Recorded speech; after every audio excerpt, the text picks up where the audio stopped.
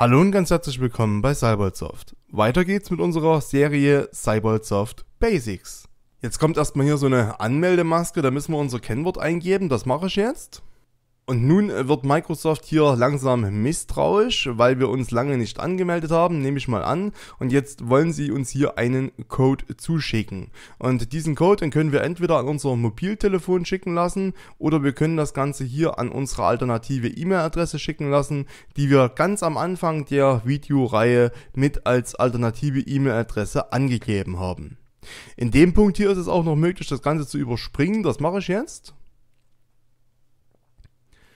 Denn wir wollen ja einfach mal nach Designs suchen. Und da suchen wir uns hier mal was Hübsches raus. Zum Beispiel hier das mit dem schönen Quarkfrosch. Das sieht ganz lustig aus. Klicken wir das an und gehen hier auf der rechten Seite mit dem linken, mit der linken Maustaste einfach auf Herunterladen. Das war's jetzt schon. Ähm, wie wir sehen, hat das Ganze hier funktioniert, die Installation. Und jetzt müssen wir das Design nur noch anwählen. Dazu mache ich den Store hier wieder zu. Und jetzt haben wir das Design schon hier mit 16 verschiedenen Hintergrundbildern. Jetzt klicken wir das Ganze einfach an.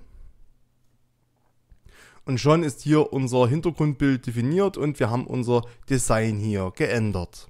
Schauen wir uns hier mal den Punkt Schriftarten noch an. Und das sind alle Schriftarten installiert, die momentan bei uns verfügbar sind. Wir können uns auch noch weitere Schriftarten hier installieren, aber das Ganze würde etwas zu weit in die Weite führen. Ähm, diese Schriftarten hier, die können wir zum Beispiel verwenden, wenn wir einen Brief schreiben, mit Word beispielsweise oder mit einem anderen Programm. Hier unten wird es nochmal interessant über den Punkt Start. Da sehen wir alles, was zum Startmenü noch einstellbar ist. Zum Beispiel hier, dass wir mehr Kacheln im Startmenü anzeigen können. Wenn ich das mal auf ein mache, dann sehen wir hier, wir haben einfach noch ein bisschen mehr Platz. Wir können also hier noch mehr im Startmenü anzeigen. Ich mache das mal wieder auf Aus. Jetzt haben wir hier noch den Punkt App-Liste im Startmenü anzeigen. Das ist unsere Programmliste. Ich mache das Ganze hier mal aus und wir schauen uns das mal an, wie das jetzt aussieht. Da wird das Startmenü hier schon sehr schmal und wir sehen keine Übersicht mehr unserer Programme. Das finde ich sehr schlecht, deswegen schalte ich das Ganze hier wieder an und wir kommen direkt zum nächsten Punkt. Das ist hier zuletzt hinzugefügte Apps anzeigen. Das ist das, was ich vorhin gezeigt hatte, dass die Apps, die zuletzt hinzugefügt wurden, angezeigt werden. Das können wir aber hier auch entsprechend ausstellen. Genauso verhält es sich mit den meist verwendeten Apps. Das hatten wir ja hier meist verwendet und wenn wir das mal auf Ausstellen, dann ist das Ganze hier verschwunden. Ich mache das bei mir jetzt wieder auf an hier haben wir noch den Punkt Startmenü im Vollbildmodus anzeigen. Das ist so ähnlich wie der Tablet-Modus. Das können wir hier einschalten und jetzt wird das Startmenü ähnlich wie das bei Windows 8 war im Vollbildmodus angezeigt. Das Ganze finde ich sehr unpraktisch, deswegen ähm, mache ich das Ganze bei mir wieder aus. Als letzten Punkt hier im Bereich Start haben wir noch zuletzt geöffnete Elemente in Sprunglisten im Startmenü oder auf der Taskleiste und im Datei-Explorer Zugriff anzeigen.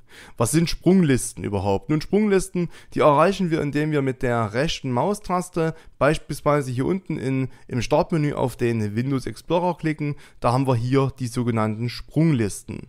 Das bedeutet, wir können hier über einen Rechtsklick relativ schnell äh, zum Beispiel auf den Desktop oder den Download-Ordner zugreifen.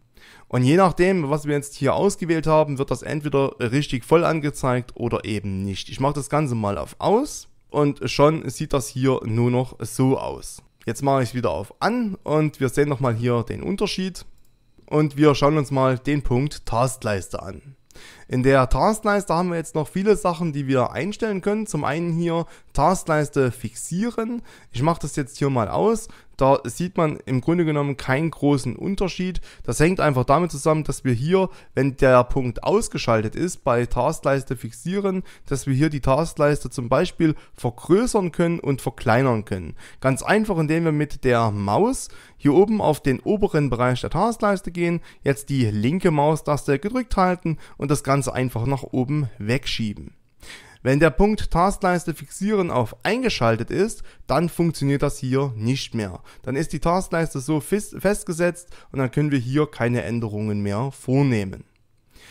Taskleiste im Desktop-Modus automatisch ausblenden. Das ist manchmal eine praktische Sache, wenn wir mehr Platz auf dem Desktop oder mehr Sichtfeld auf dem Desktop brauchen. Wenn wir das auf ein machen, dann wird hier die Taskleiste nur angezeigt, wenn wir mit der Maus in den unteren Bildschirmbereich hingehen. Das war's jetzt erstmal hier zu diesem Teil des Videos. Weiter geht's nächste Woche im nächsten Video, wenn es wieder heißt Cyber Soft Basics. Hey, vielen Dank, dass du das Video hier bis zum Ende angeschaut hast.